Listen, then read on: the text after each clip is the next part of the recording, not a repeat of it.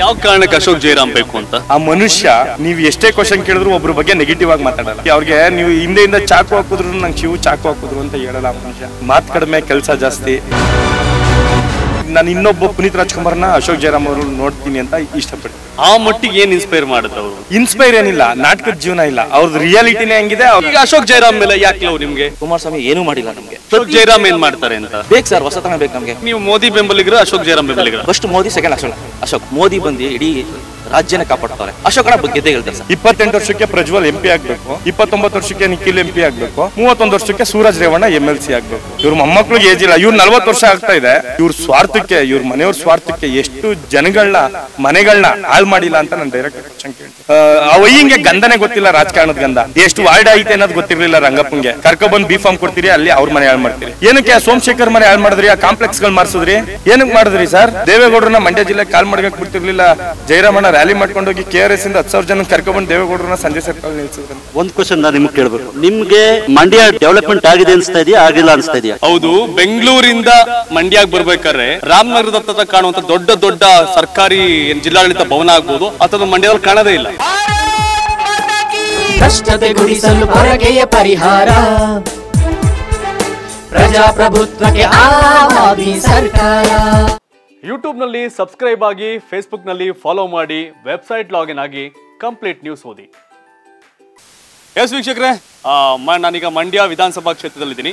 ಮಂಡ್ಯ ವಿಧಾನಸಭಾ ಕ್ಷೇತ್ರ ರಂಗೇರ್ತಾ ಇದೆ. ಇಲ್ಲಿ ಚತುಷ್ಕೋನ ಸ್ಪರ್ಧೆ. Congress BJP J D S ಹಾಗೆ ಪಕ್ಷೇತರ ಅಭ್ಯರ್ಥಿ ವಿಜಯಾನಂದ ಸ್ವಾಭಿಮಾನಿ ಅಭ್ಯರ್ಥಿ ಅಂತ ಕರ್ಕೋತಾ ಇದ್ದಾರೆ. ಅವರು ಹೋರಾಟವನ್ನು ಕೊಡ್ತಾ ಇದ್ದಾರೆ. ನಾನೀಗ ಮಂಡ್ಯದಲ್ಲಿ ಎಸ್ ಸಿ ಜಯರಾಮ್ ಅವರ ನಿವಾಸದ ಮುಂದೆ ಇದ್ದೀನಿ. ಅಂದ್ರೆ ಬಿಜೆಪಿ ಅಭ್ಯರ್ಥಿ ಅಶೋಕ್ ಜಯರಾಮ್ ಅವರ ನಿವಾಸದ ಮುಂದೆ ಇದ್ದೀನಿ. ಇಲ್ಲೆಲ್ಲ ಬಿಜೆಪಿ ಕಾರ್ಯಕರ್ತರು ಅಶೋಕ್ ಜಯರಾಮ್ ಅವರು ಬೆಂಬಲಿಗರಿದ್ದಾರೆ. ಬಹಳ ಉತ್ಸಾಹದಲ್ಲಿ ನಮ್ಮ ನಾವು ಈ ಸರಿ ರಿಸಲ್ಟ್ ಮಾಡೇ ಮಾಡ್ತೀವಿ. ಬಿಜೆಪಿ ಗೆದ್ದೇ ಗೆಲ್ಲುತ್ತೆ ಅಶೋಕ್ ಜಯರಾಮ್ ಗೆದ್ದೇ ಗೆಲ್ತಾರೆ ಅಂತ ಹೇಳ್ತಾವ್ರೆ. ಅದು ಹೆಂಗ್ರಪ್ಪ ಅಂತ ಕೇಳ್ತಾ ಇದ್ದೀನಿ. ಹೆಂಗ್ ಬ್ರದರು? ಮೊದಲನೇದಾಗಿ ನಾನು ಬಿಜೆಪಿ ಕಾರ್ಯಕರ್ತ ಅನ್ನೋದಕ್ಕಿಂತ ಹೆಚ್ಚಾಗಿ ಅಶೋಕ್ ಜಯರಾಮ್ ಅವರು ಹಿತೈಷಿ ಅಂತ ಹೇಳಕ್ಕೆ ಇಷ್ಟಪಡ್ತೀನಿ.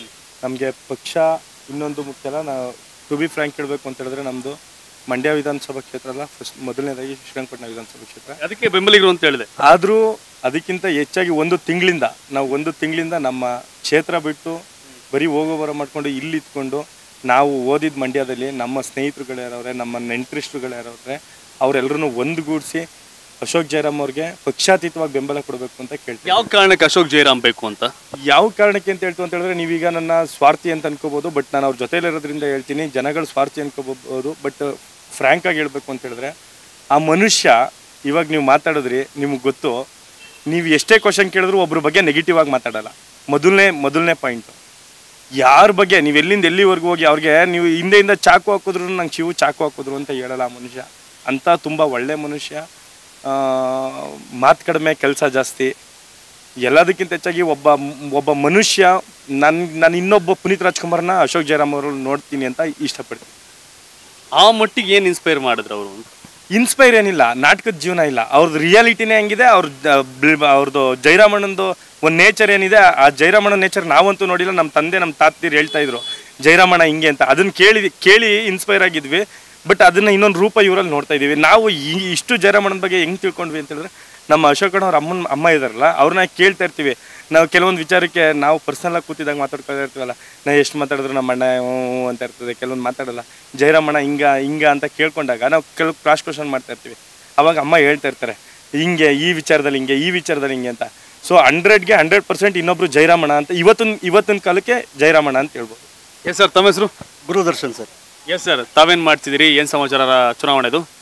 ಚುನಾವಣೆದು ಸರ್ ನಾವು ದಿನ ಬೆಳಗಾದ್ರೆ ಎಲ್ಲೆಲ್ಲಿ ಫ್ರೆಂಡ್ಸ್ ಇರ್ತಾರೋ, ಎಲ್ಲೆಲ್ಲಿ ಈಗ ನಮ್ಮೂರಲ್ಲೇ ಆಗಲಿ, ಮಂಡ್ಯದಲ್ಲೇ ಆಗಲಿ, ಇಲ್ಲ ನಮ್ಮ ಸ್ನೇಹಿತರಲ್ಲೆಲ್ಲ ಮಂಡ್ಯದಲ್ಲೆಲ್ಲ ಸೆಟ್ಲ್ ಆಗಿದ್ದಾರೆ, ಸುಮಾರು ಜನ ಇದ್ದಾರೆ. ಮಂಡ್ಯ ವಿಧಾನಸಭಾ ಕ್ಷೇತ್ರದಲ್ಲಿ ಸುಮಾರು ಊರುಗಳಲ್ಲಿ ನಮ್ಮ ಫ್ರೆಂಡ್ಸ್ಗಳು ಸಂಬಂಧಿಕರೆಲ್ಲ ಇದ್ದಾರೆ.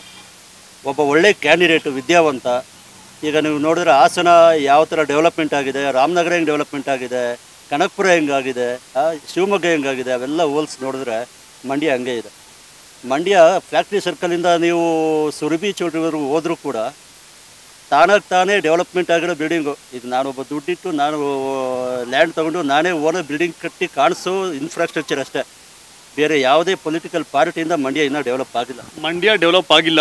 ಎಸ್ ಇನ್ಫ್ರಾಸ್ಟ್ರಕ್ಚರ್ ಇದು ಯಾವುದೋ ಈಗ ಒಳ್ಳೊಳ್ಳೆ ಕಂಪ್ನಿಗಳೇ ಆಗಲಿ ಫ್ಯಾಕ್ಟ್ರಿ ಈಗ ಇಂಡಸ್ಟ್ರಿಯಲ್ ಏರಿಯಾ ಆಗಲಿ ಹಾಸನ ಲೆವೆಲ್ಗೆ ಮಂಡ್ಯ ಡೆವಲಪ್ ಆಗಿಲ್ಲ. ಎಸ್ ಒಂದು ವಿಷಯ ನಾನು ಕೂಡ ಮಂಡ್ಯದವನಾಗಿ ಆ್ಯಡ್ ಮಾಡಬೇಕು. ಯಾವುದೋ ಪಾರ್ಟಿ ವಿರುದ್ಧ ಯಾವುದೋ ಪರ ಅಂತಲ್ಲ. ಬೇರೆ ಬೇರೆ ಜಿಲ್ಲೆಯಲ್ಲಿ ಆಗಿರ್ತಕ್ಕಂಥ ಸರ್ಕಾರಿ ಕಟ್ಟಡಗಳು. ಬರ್ಬೇಕಾದ್ರೆ ರಾಮನಗರದಲ್ಲಿ ಕಡ ಆ ಬಿಲ್ಡಿಂಗ್ಗಳಾಗ್ಬೋದು ಮತ್ತು ಬೇರೆ ಬೇರೆ ಜಿಲ್ಲೆಯ ಬಿಲ್ಡಿಂಗ್ಗಳನ್ನೇ ನೋಡಿದ್ರು. ನಮ್ಮ ಮಂಡ್ಯ ಜಿಲ್ಲಾಡಳಿತ ಜಿಲ್ಲಾ ಕೇಂದ್ರದಲ್ಲಿ ಆ ರೀತಿಯ ವ್ಯವಸ್ಥೆಗಳಾಗಲಿಲ್ಲ. ಮಂಡ್ಯವನ್ನ ಯಾರೂ ಕೂಡ ಡೆವಲಪ್ ಮಾಡಿಲ್ಲ ಅನ್ನೋ ಇವರ ಹೇಳಿಕೆಗೆ ನನ್ನ ಸಹಮತ ಕೂಡ ಇದೆ. ನಾ ಈ ಜಿಲ್ಲೆಯವನಾಗಿ. ನೆಕ್ಸ್ಟ್ ಬೇರೆ. ಅಷ್ಟೇ ಬೇಜಾರಿಂದ ಈಗ ಅಶೋಕ್ ಜೈರಾಮ್ ಮೇಲೆ ಯಾಕೆ ಲವ್ ನಿಮಗೆ? ಇವರಾಗಲೇ ಹೇಳಿದ್ರು ಅವರು ವ್ಯಕ್ತಿಯಾಗಿ ಇನ್ನೊಬ್ಬರ ಬಗ್ಗೆ ಕೆಟ್ಟದ್ದು ಮಾತಾಡಲ್ಲ ಪ್ಲಸ್ ಅವ್ರಿಗೆ ಏನೇನೋ ಕನಸುಗಳಿದೆ ನಮ್ಮ ಹತ್ರ ಹೇಳ್ಕೊಂಡಿದ್ದಾರೆ. ಇನ್ನೊಂದೇನಪ್ಪ ಅಂದರೆ ಒಬ್ಬ ವಿದ್ಯಾವಂತ. ಈಗ ನಾವು ಎಲ್ಲ ಥರ ಕ್ಯಾಂಡಿಡೇಟ್ಸು ನೋಡಿದ್ವಿ. ಹೌದು ಈಗ ಗೌರ್ಮೆಂಟಿಂದ ಬರೋ ಅನುದಾನನ ತೊಗೊಂಡು ಒಳ್ಳೇದು ಮಾಡಬೇಕು ಅಂತ ಮಾಡಿರೋರು ಇದ್ದಾರೆ ಈಗ ಹಳೆ ಎಂ ಎಲ್ ಎವರು ಅವ್ರೇನು ಕೆಟ್ಟದ್ದು ಮಾಡಿದ್ರೆ ಅಂತ ಹೇಳ್ತಿಲ್ಲ. ನನಗೆ ಬೇಕಾಗಿರೋದು ಈಗ ಗೌರ್ಮೆಂಟ್ ಫಾರ್ಮೇಷನ್ ಆದಾಗ ಈಗ ಕುಮಾರಸ್ವಾಮಿ ಅವ್ರ ಗೌರ್ಮೆಂಟ್ ಎರಡು ಮೂರು ಸಲ ಫಾರ್ಮೇಷನ್ ಆಯಿತು. ಹಾಸನ ಈಗ ಅವತ್ತಿಂದನೂ ನೋಡ್ಕೊಂಬಂದ್ರೆ ಇಪ್ಪತ್ತು ವರ್ಷದಿಂದ ಹಾಸನ ಹೆಂಗಾಗಿದೆ? ಯಡಿಯೂರಪ್ಪನವರು ಶಿವಮೊಗ್ಗ ಹೆಂಗೆ ಮಾಡಿದ್ದಾರೆ? ಮಂಡ್ಯದವ್ರು ಏನು ಮೋಸ ಮಾಡಿದ್ದಾರೆ ಅವ್ರಿಗೆ? ಏನು ತಪ್ಪು? ಯಾವ ಥರ ಮಂಡ್ಯ ಡೆವಲಪ್ಮೆಂಟ್ ಆಗದಿರೋ ಕಾರಣ ಏನು? ಈಗ ನೀವು ಹೇಳಿದ್ರೆ, ಹೌದು, ಅಶೋಕ್ ಜೋರಾಮ್ ಮಾಡ್ತಾರ ಅಂತ. Hundred percent B J P government ಬಂದರೆ, ಅಶೋಕಣ್ಣ ಗೆದ್ದರೆ ಗೆದ್ದೇ ಗೆಲ್ತಾರೆ. ಹಂಡ್ರೆಡ್ ಪರ್ಸೆಂಟು ಅವರು ಫಾರಿನ್ದಲ್ಲಿ ಎಲ್ಲ ಅವರು ನಮ್ಮ ಥರನೇ ಇಂಜಿನಿಯರ್ ಆಗಿ ಸಾಫ್ಟ್ವೇರ್ ಇಂಜಿನಿಯರ್ ಆಗಿ ಫಾರಿನ್ದಲ್ಲಿ ಸೆಟ್ಲಾಗಿ ಬಂದವರು. ವಿದ್ಯಾವಂತರು. ನಂತರ ಏನೇನೋ ಕನಸುಗಳು ಅವ್ರಿಗೂ ಇದ್ದೇ ಇರುತ್ತೆ. ಅದೆಲ್ಲ ನಮ್ಮ ಹತ್ರ ಹಂಚ್ಕೊಂಡಿದ್ದಾರೆ. ಇನ್ಫ್ರಾಸ್ಟ್ರಕ್ಚರ್ ಆಗಲಿ ಮಂಡ್ಯ ಜಿಲ್ಲಾಡಳಿತ ಕೇಂದ್ರದಲ್ಲಿ ಯಾವ್ಯಾವ ಥರ ಕೆಲಸಗಳಾಗಬೇಕು ಅನ್ನೋದೆಲ್ಲ ನಾಲೆಡ್ಜು ಹಂಡ್ರೆಡ್ ಪರ್ಸೆಂಟ್ ಅವ್ರಿಗೆ ಅವ್ರಿಗಿದೆ. ಆ ನಂಬಿಕೆಯಿಂದ ನಾವೆಲ್ಲ ಓಡಾಡ್ತಾ ಇದ್ದೀವಿ. ನಮ್ಮ ಹೆಸರು ಬ್ರದರ್ ಶ್ರೀನಿವಾಸ್ ಅಂದ್ಬಿಟ್ಟು. ತಾವೇನು ಮಾಡ್ತಿದ್ದೀರಿ? ಸರ್ ನಾನು ಅಮೆಝಾನ್ ಸ್ಟೋರ್ ಇದೆ ಬುಕಿಂಗ್ ಆಫೀಸು ಆ್ಯಕ್ಚುಲಿ ನಾನು ಮುದ್ದೂರು ಇದು ಸ್ಲಿಪ್ ಆಗಿ ನಾವು ಕಳಳಿ ವಾಸ ಈಗ.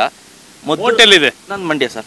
ಮಂಡ್ಯದಲ್ಲಿದೆ. ಯಾವ ಕಾರಣಕ್ಕೆ ಅಶೋಕ್ ಜೈರಾಮ್ ಸರ್ ಈಗ ಹಳೆ ಶ್ರೀನಿವಾಸ್ ಇದ್ರಲ್ಲ ಮದ್ದೂರಲ್ಲಿ ಡಿ ಸಿ ತಮ್ಮಣ್ಣ ಮಾಡಿದ್ರಂಗೆ ಒಂದು ಪಾಸ್ಪೋರ್ಟ್ ಆಫೀಸು ರೆಗ್ಯುಲರ್ ಆಗಿ ಒಂದು ಯಾವ್ದು ಕಾಲೇಜು ಸ್ಕೂಲು ಯಾವುದೂ ಮಾಡಿಲ್ಲ. ಅಲ್ಲಲ್ಲ ಮದ್ದೂರಲ್ಲಿ ಪಾಸ್ಪೋರ್ಟ್ ಆಫೀಸ್ ಇದೆ.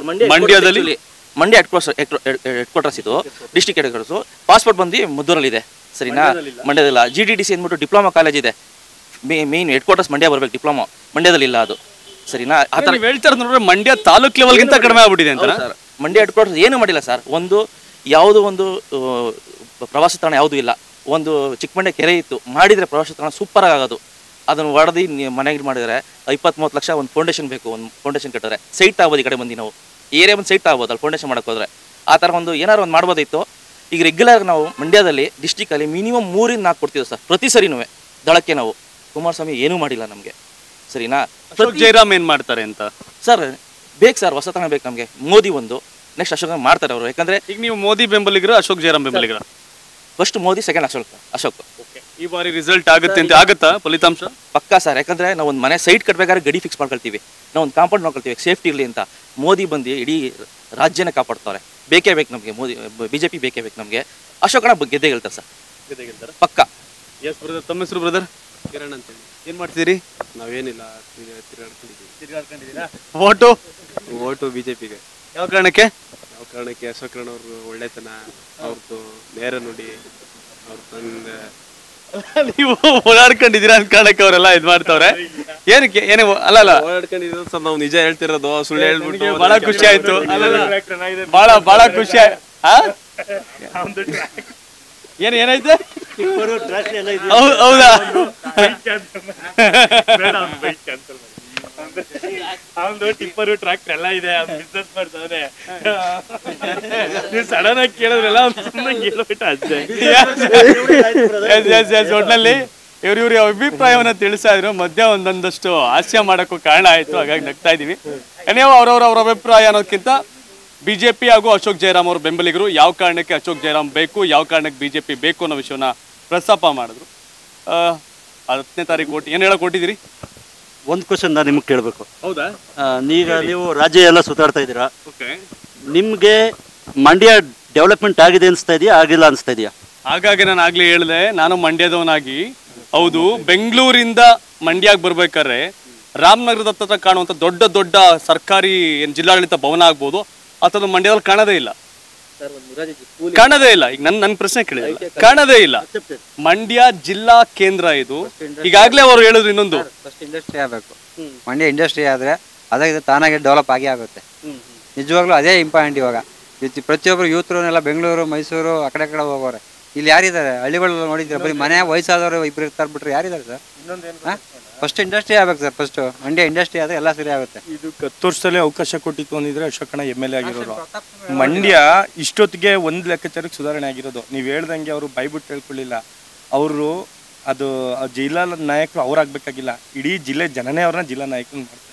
ಯಾಕಂದ್ರೆ ಅವ್ರ ಬ್ಲಡ್ಡಲ್ಲಿ ಇದೆ ಜಯರಾಮಣ್ಣ ಅನ್ನ ಹೆಸರೇ ಸಾಕು ಅವ್ರು ಜಿಲ್ಲಾ ನಾಯಕರಾಗಕ್ಕೆ ರಾಜ್ಯ ನಾಯಕರ ಇನ್ನೊಂದೇನು ಅಂತ ಹೇಳ್ತು ಅಂತ ಹೇಳಿದ್ರೆ ಇವತ್ತು ನಾನು ನೀವು ಕ್ವಶನ್ ಕೇಳಿಲ್ಲ ಅಂದ್ರೆ ಹೇಳ್ತಾ ಇದ್ದೀನಿ. ಇದಕ್ಕೆ ಹತ್ತು ವರ್ಷದಿಂದ ಅವ್ರಿಗೆ ಎಷ್ಟು ಅನ್ಯಾಯ ಆಯಿತು ಅಂತ ನಿಮಗೆ ಗೊತ್ತು. ಏನಕ್ಕೆ ಅನ್ಯಾಯ ಆಯಿತು? ಇವತ್ತು ಹೇಳ್ತಾರೆ, ಈ ನಾನು ಫೈವ್ ಇಯರ್ಸ್ ಬ್ಯಾಕು ದೊಡ್ಡವ್ರ ಮನೆಗೆ ಹೋಗ್ತೀವಿ. ನಾವು ಇನ್ನು ಜೆ ಡಿ ಎಸ್ ಪಾರ್ಟಿಲಿದ್ವಿ ಹೋಗ್ತೀವಿ. ಅದು ಲಾಸ್ಟ್ ಫೈವ್ ಇಯರ್ಸ್ ಬ್ಯಾಕು ಅವ್ರಿಗೆ ಅನ್ಯಾಯ ಆಗಿರ್ತದೆ. ಕೇಳ್ತೀವಿ ಮತ್ತೆ. ಹಿಂಗೆ ಜಯರಾಮಣ್ಣವ್ರ ಮಗನಿಗೆ ಅವಕಾಶ ಮಾಡಿಕೊಡಿ. ಕಳೆದ ಬಾರಿ ಹತ್ತೊಂಬತ್ತರಲ್ಲಿ ನೀವು ಮೆಮ್ ಪಾರ್ಲಿಮೆಂಟಿಗೆ ಟಿಕೆಟ್ ಕೊಡ್ತೀನಿ ಅಂತ ಹೇಳಿದ್ರಿ, ಅನ್ಯಾಯ ಮಾಡಿದ್ದೀರಿ ಅಂತ. ಹಿಂಗೆ ಕೊಡ್ತೀವಿ ಕೊಡ್ತೀವಿ, ತಾಳ್ಮೆ ಬೇಕು ತಾಳ್ಮೆ ಬೇಕು ಅಂತ ಹೇಳ್ತಾ ಇರ್ತಾರೆ. ನನಗೆ ಒಂದೇ ಕ್ವಶನ್ ಕೇಳೋದು. ಇವ್ರ ಮೊಮ್ಮಕ್ಳಿಗೆ ತಾಳ್ಮೆ ಬೇ, ಇವ್ರ ಮೊಮ್ಮಕ್ಳಿಗೆ ತಾಳ್ಮೆ ಬೇಡ. ಬೇರೆಯವ್ರ ಮಕ್ಕಳಿಗೆ ತಾಳ್ಮೆ ಬೇಕು. ಇಪ್ಪತ್ತೆಂಟು ವರ್ಷಕ್ಕೆ ಪ್ರಜ್ವಲ್ ಎಂ ಪಿ ಆಗಬೇಕು. ಇಪ್ಪತ್ತೊಂಬತ್ತು ವರ್ಷಕ್ಕೆ ನಿಖಿಲ್ ಎಂ ಪಿ ಆಗಬೇಕು. ಮೂವತ್ತೊಂದು ವರ್ಷಕ್ಕೆ Suraj Revanna M L C ಆಗಬೇಕು. ಇವ್ರ ಮೊಮ್ಮಕ್ಳಿಗೆ ಏಜ್ ಇಲ್ಲ. ಇವ್ರು ನಲ್ವತ್ತು ವರ್ಷ ಆಗ್ತಾ ಇದೆ. ನಲ್ವತ್ತು ವರ್ಷ ಆಗೋರ್ಗೆ ತಾಳ್ಮೆ ಬೇಕು. ಎಷ್ಟು? ಈ ಥರದ್ದು ಎಷ್ಟು? ಇವ್ರ ಸ್ವಾರ್ಥಕ್ಕೆ, ಇವ್ರ ಮನೆಯವ್ರ ಸ್ವಾರ್ಥಕ್ಕೆ ಎಷ್ಟು ಜನಗಳನ್ನ ಮನೆಗಳನ್ನ ಹಾಳು ಮಾಡಿಲ್ಲ ಅಂತ ನಾನು ಡೈರೆಕ್ಟಾಗಿ ಕ್ವಶನ್ ಕೇಳ್ತೀನಿ. ಯಾಕೆ ಕೇಳಿ? ಕೆ ಜಿ ಕೊಪ್ಪಳು ಹರೀಶಣ್ಣ ಮೈಸೂರಲ್ಲಿ. ಏನು ಮಾಡಿದ್ರಿ ಸರ್? ನಿಮ್ಮ ದೇವೇಗೌಡರು ಮಗಳು ಬೀಗ ಯಾರು? ರಂಗಪ್ಪವರು ಇನ್ನೂ ಆರು ತಿಂಗಳು ಡ್ಯೂಟಿ ಹ್ಞೂ ರಂಗಪ್ಪವ್ರನ್ನ ನೀವು ರಿಸೈನ್ ಮಾಡಿಸ್ಬಿಟ್ಟು ಕರ್ಕೊಬಂದು ನೀವು ಹತ್ತು ವರ್ಷ ಪಾಪ ಆ ವಯ್ಯ ಅವ್ರ ಮನೆ ಆಸ್ತಿ ಮಾರ್ಕೊಂಡು ಅವ್ರ ಮನೆ ದುಡ್ಡು ಹಾಕೊಂಡು ರಾಜಕಾರಣ ಮಾಡ್ತಾ ಇರ್ತಾರೆ. ಅವ್ರ ಮನೆ ಹಾಳು ಮಾಡ್ತೀರಿ ನೀವು. ಏನಕ್ಕೋಸ್ಕರ? ನಿಮ್ಮ ನಿಮ್ಮ ಸ್ವಾರ್ಥಕ್ಕೋಸ್ಕರ ನಿಮ್ಮ ಆ, ಗಂಧನೇ ಗೊತ್ತಿಲ್ಲ ರಾಜಕಾರಣದ ಗಂಧ. ಎಷ್ಟು ವಾರ್ಡ್ ಐತೆ ಅನ್ನೋದು ಗೊತ್ತಿರಲಿಲ್ಲ ರಂಗಪ್ಪಂಗೆ. ಕರ್ಕೊಬಂದು ಬಿ ಫಾರ್ಮ್ ಕೊಡ್ತೀರಿ ಅಲ್ಲಿ ಅವ್ರ ಮನೆ ಹಾಳು ಮಾಡ್ತೀರಿ. ಇದೇ ನೀವು ಇವತ್ತು ಹರೀಶ್ ಗೌಡ ಜಿ ಟಿ ಹರೀಶ್ ಗೌಡನ್ ಕ್ಯಾಂಡಿಡೇಟ್ ಮಾಡಿದಿರಲ್ಲ ಹುಣಸೂರಲ್ಲಿ ಬೈ ಎಲೆಕ್ಷನಲ್ಲಿ ಕೊಡೋರಿ ಜಿ ಟಿ ಹರೀಶ್ ಗೌಡಂಗೆ ನೀವು? ಏನಕ್ಕೆ ಆ ಸೋಮಶೇಖರ್ ಮನೆ ಹಾಳು ಮಾಡಿದ್ರಿ ಆ ಕಾಂಪ್ಲೆಕ್ಸ್ಗಳು ಮಾಡಿಸಿದ್ರಿ ಏನಕ್ಕೆ ಮಾಡಿದ್ರಿ ಸರ್? ಜಯರಾಮಣ್ಣನ ಮನೆ ಜಯರಾಮಣ್ಣ ಏನನ್ಯ ಈ ಇಡೀ ಜಿಲ್ಲೆಯಲ್ಲಿ ನಾವು ಹಿಂದೆ ಹೇಳ್ತಾ ಇರ್ತಾರಲ್ಲ ಕೇಳ್ತಾ ಇದ್ದೀವಿ ದೇವೇಗೌಡರನ್ನ ಮಂಡ್ಯ ಜಿಲ್ಲೆ ಕಾಲ್ ಮಾಡ್ಕಕ್ಕೆ ಬಿಡ್ತಿರ್ಲಿಲ್ಲ. ಜಯರಾಮಣ್ಣ ರ್ಯಾಲಿ ಮಾಡ್ಕೊಂಡೋಗಿ ಕೆ ಆರ್ ಎಸ್ ಇಂದ ಹತ್ತು ಸಾವಿರ ಜನ ಕರ್ಕೊಂಡ್ಬಂದು ದೇವೇಗೌಡರನ್ನ ಸಂಜೆ ಸರ್ಕಲ್ ನಿಲ್ಸಿದ್ರಂತ. ಜಯರಾಮಣ್ಣ ಅವ್ರ ಮನೆಗೆ ಏನು ಕೊಡುಗೆ ಕೊಟ್ರಿ? ಹೇಳ್ತೀರಿ ನಿಮ್ಮ ಮಗನ ಸ್ವಾರ್ಥಕ್ಕೋಸ್ಕರ ನಿಮ್ಮ ಮಗನ ಚುನಾವಣೆಯಲ್ಲಿ ಅಯ್ಯೋ, ನನಗೆ ಅಶೋಕ್ ಜಯರಾಮ್ ಬೇರೆ ಇಲ್ಲ, ವಿಜಯಾನಂದ್ ಬೇರೆ ಇಲ್ಲ, ನಿಖಿಲ್ ಬೇರೆ ಇಲ್ಲ ಅಂತ. ಎಲ್ಲಿ ಸ್ವಾಮಿ? ಇವತ್ತು ನಿಮ್ಮ ಮಗ ಸೋತೆಡ್ಕುವೆ ಪುನಃ ಎಂ ಎಲ್ ಎ ಟಿಕೆಟ್ ಕೊಡ್ತಾ ಇದ್ದೀರಿ ರಾಮನಗರದಲ್ಲಿ? ಇದೆಲ್ಲ ಕಿಚ್ಚು. ಕಿಚ್ಚು ಅನ್ನೋದಕ್ಕಿಂತ ಹೆಚ್ಚಾಗಿ ಸತ್ಯ ಅಣ್ಣ ಕಿಚ್ಚು ಒಂದ್ ಕಡೆ ಇದೆ ಬಟ್ ವಾಸ್ತವ ಅಲ್ವಾ? ಇದನ್ನ ನನ್ನ ನಮ್ಮ ಜೆ ಡಿ ಎಸ್ ಕಾರ್ಯಕರ್ತರುಗಳು ನಾವು ಅಲ್ಲೇ ಇದ್ದವರು ನಾವು ಅಲ್ಲಿಂದನೇ ಬಂದಿರೋರು, ನನ್ನ ಬೇಜಾರ ಬೇಜಾರು ಮಾಡ್ಕೋಬೋದೇನೋ ಕೆಲವು ಜನ ಬಟ್ ಸತ್ಯ. ಇದು ಸತ್ಯ. ಕಿಚ್ಚು ಅನ್ನೋದಕ್ಕಿಂತ ಹೆಚ್ಚಾಗಿ ಸತ್ಯ, ಅವ್ರು ಮಾಡ್ತಾ ಇರೋದು ಸತ್ಯ. ಈ ಥರದಲ್ಲಿ ಇಡೀ ರಾಜ್ಯದ ನಾನು ಒಂದು ಎರಡು ಉದಾಹರಣೆ ಕೊಟ್ಟೆ ನಿಮ್ಗೆ ಅಷ್ಟೇ ಯಾವುದೋ ಹುಣಸೂರ್ದೊಂದಿರ್ಬೋದು ಹರೀಶಣ್ಣನೊಂದಿರ್ಬೋದು ಮಂಡ್ಯದಲ್ಲಿ ಅಶೋಕ್ ಜಯರಾಮ್ ಅವ್ರದ್ದಿರ್ಬೋದು ವಾಸ್ತವ ಇವತ್ತು ವಿಜಯಾನಂದ್ ಅವರು ಏನಾಗಿದ್ರು ಸ್ವಾಮಿ? ಚುನಾವಣೆ ಜಯರಾಮಣ್ಣನ ಮಗ ಗೆಲ್ತಿದ್ರು, ಶಂಕರೇಗೌಡರು ಮೊಮ್ಮಗ ಗೆಲ್ತಿದ್ರು ಕೊಡೋರಿ ನೀವು. ಎಲ್ಲಿದ್ರು ರಾಮಚಂದ್ರ ಅವರು? ಎಲ್ಲಿದ್ರು ಅಣ್ಣ ರಾಮಚಂದ್ರ ಅವರು? ಎರಡು ಹೋಟೆಲ್ ಗೆದ್ಬಿಟ್ಟು ಮನ್ಮೂಲ ಅಧ್ಯಕ್ಷರಾದ್ರು. ಇವತ್ತು ದುಡ್ಡಿದ್ ನಿಮ್ಮ ಮನೇಲಿ ದುಡ್ಡಿರೋರ್ಗೆ ಮಾತ್ರ ರಾಜಕಾರಣ, ದುಡ್ಡಿರೋರ್ಗೆ ಮಾತ್ರ ಬಿ ಹಣೆ ಬರ ಇದ್ದಂಗೆ ಆಯ್ತಿತ್ತು ಜಯರಾಮಣ್ಣನ ಮಗ ಗೆಲ್ಲೋರು, ಇಲ್ಲ ಶಂಕರೇಗೌಡರು ಮೊಮ್ಮಗ ಗೆಲ್ಲೋರು ಕೊಡೋರಿ ಎಸ್ ಮಂಡ್ಯ ವಿಚಾರ ಬಂದಾಗ ಎಸ್ ಟಿ ಜಯರಾಮ್ ಅವ್ರ ಮನೆಯವ್ರಿಗೂ ಅನ್ಯಾಯ ಆಯಿತು, ಶಂಕರೇಗೌಡರ ಮನೆಯವ್ರಿಗೂ ಅನ್ಯಾಯ ಆಯಿತು, ಅನ್ಯಾಯ ಮಾಡಿದ್ದು ದೇವೇಗೌಡರ ಮನೆಯವರು ಅನ್ನೋದನ್ನ ಸ್ಪಷ್ಟವಾಗಿ ಅಶೋಕ್ ಜಯರಾಮ್ ಅವರ ಬೆಂಬಲಿಗ ನೇರವಾಗಿ ಆಪಾದನೆಯನ್ನ ಮಾಡ್ತಾ ಇದ್ದಾರೆ. ಇಷ್ಟು ವರ್ಷ ಅದನ್ನು ಮಾಡಿದಿರಿ. ಯಾಕೆ? ಊರಿಗೊಂದ್ಯಾಯ ನಿಮ್ಗೊಂದ್ಯಾಯನ ಅನ್ನೋ ವಿಷಯವನ್ನ ಹೇಳ್ತಾರೆ. ಎಸ್ ಇದೆಲ್ಲ ಕೂಡ ಅಶೋಕ್ ಜಯರಾಮ್ ಹಾಗೂ ಬಿ ಜೆ ಪಿ ಬೆಂಬಲಿಗರ ಮಾತಾಗಿತ್ತು. ಯಾಕೆಂದರೆ ಅಶೋಕ್ ಜಯರಾಮ್ ಅವರು ಸಂದರ್ಶನ ಮಾಡೋಕ್ಕೆ ಬಂದಿದ್ದೆ. ಅಲ್ಲೇ ಇದ್ದಂಥ ಕಾರ್ಯಕರ್ತನ ನಾನು ಮಾತಾಡಿಸ್ದೆ. ಮತ್ತಷ್ಟು ಜನರ ಅಭಿಪ್ರಾಯ ಹಾಗೆ ಅಭ್ಯರ್ಥಿಗಳ ಅಭಿಪ್ರಾಯ ಸಂಗ್ರಹ ಮಾಡ್ತೀನಿ, ಸಂದರ್ಶನ ಮಾಡ್ತೀನಿ. ಧನ್ಯವಾದ. ಇದು ಕರ್ನಾಟಕ ಟಿವಿ, ಕನ್ನಡಿಗರ ಧ್ವನಿ.